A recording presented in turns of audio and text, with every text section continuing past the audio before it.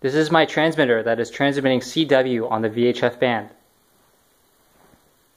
The antenna is tuned by series transmission line and shunt open-circuited coax cable. The transmitter consists of just a power amplifier and a signal source, which is a PLL. In this video, the PA is not even turned on.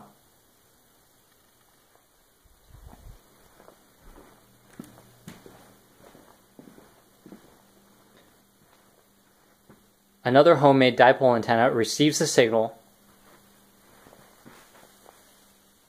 and then a Class A power amplifier boosts the RF signal by 10 dB. The signal then runs into a mixer, which is underneath the Arduino. The up converted and down converted signal then passes through an IF amplifier chain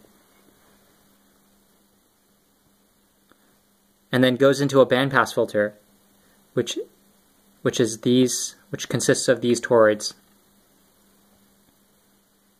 After the bandpass filter, the signal is then peak detected in which we can use to turn on and off an LED. In effect, the continuous wave that is sent from the transmitter turns, turns on an LED on the receiving end.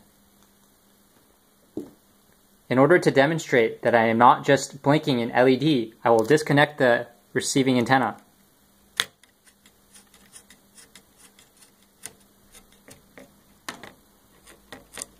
Voila!